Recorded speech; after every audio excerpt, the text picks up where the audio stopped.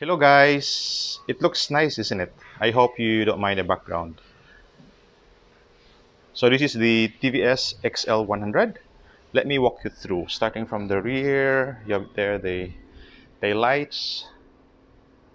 There. And this is the footrest for the pillion rider. For the driver, you have uh, the side stand, the center stand, the uh, chain, the drive chain is all covered. It's made of plastic. The suspension here, dual shock. So, and this is also adjustable. So right now, it's set at the softest setting, but nonetheless, it's still hard. Uh, so it's the tire 16 inch wheel, and you probably notice that the spokes are a bit bigger because this bike is designed to carry loads.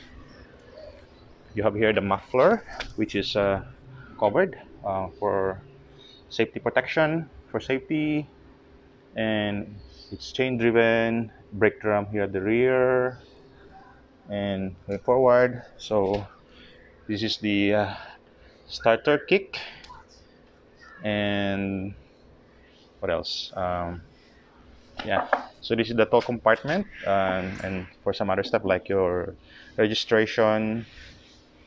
By the way the seat is removable so I have it removed now. And it reveals another place uh, another area to put your load. And going into the engine so it's a 100cc it says they're automatic. What it actually means is it is single speed and the clutch is centrifugal. So once you put gas on it um, it will engage the clutch and it will move the bike. So you have here the cooling fan it sucks the air from outside and pushes into this duct here and into the engine and it cools the engine. So it says there it's 100 cc. It has uh, 4 liters of fuel and the reserve is 1.3 liters.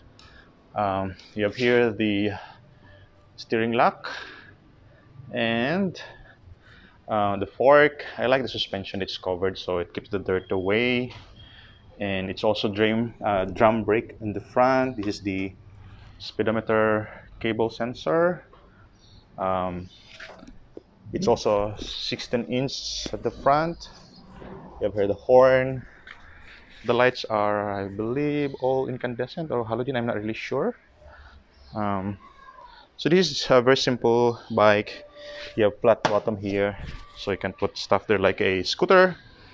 And uh, you have for the steering bar uh, on the left is the um, headlight switch so that's off this on and high and low and then you have here the turn switch so left and right you have the horn here and the choke lever. So this one here is for the rear brake and to the right you have the gas and the lever for the front.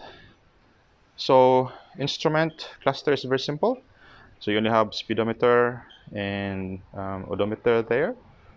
Turn light indicator and the high beam indicator and you have the switch here. So this unit doesn't have a battery so it doesn't have any power. So a little more view on the engine. So oil is uh, um, 900 cc so a little over a little less uh, a liter. And that's a view the engine. Yeah it's air cooled. And here's the spark plug right here. Okay. Okay. So this is where the air intake is so the air cleaner. So for maintenance uh, you can remove it by removing these two screws here both sides and to open the box uh, you need to remove all the screws. You'll probably ask how's the power? So it's rated at 4.3 brake horsepower which is not that much but the torque is actually quite good at 6.5 newton meter. And I've tried this uh, climbing uphill from basement parking no problem. Uh, loaded with uh, a pillion rider no problem and some stuff no problem so it's quite practical and the great value about this is really the price. So a, a scooter, for example, a 110cc or 125 will set you back at least 60,000 or 65,000 pesos upwards. But this one is less than that. So we bought this, including registration for 32,000 pesos, 30,000 for the unit and almost uh, 2,000 pesos for the registration. And uh, in terms of fuel economy, it says that uh, this is 67 kilometer per liter. So far, I've seen it about 45, which is not bad because we just drive for short. And what about the speed? So it's rated at max of uh, 60.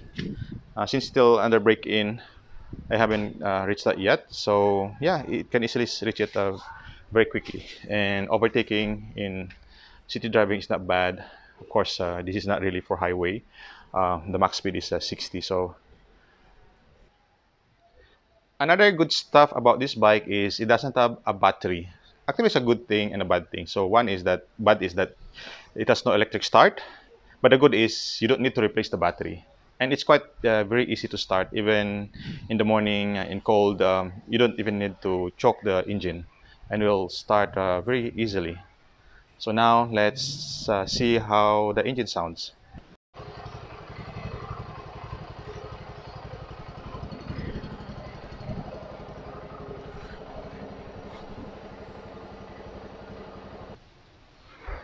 So yeah, there you go guys. So the TVS XL100, it's very practical. It's really great value for money. Uh, people, for example, in India, they put loads and loads of stuff in in the bike. And it's really, uh, I'm very happy with it.